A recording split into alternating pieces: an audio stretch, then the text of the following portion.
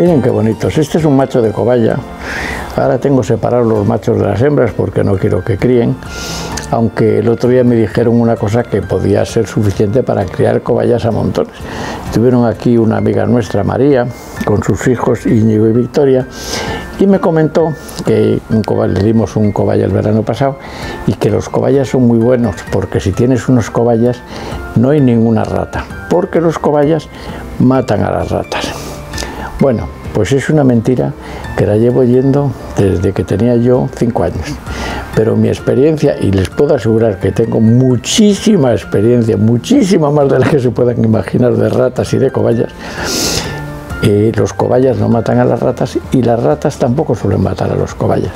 El año pasado, donde los cobayas, tenéis tenido una cámara, que los veo por la noche, y he tenido una sociedad formada por 50 cobayas y una docena de ratas grandes que comían todos del mismo plato y con el mismo mantel.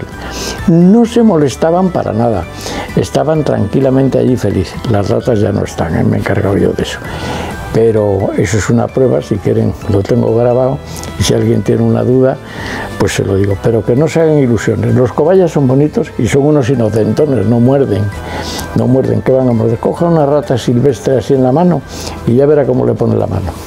Es más fácil que una rata mate un cobaya que un cobaya una rata, ¿verdad chiquitín?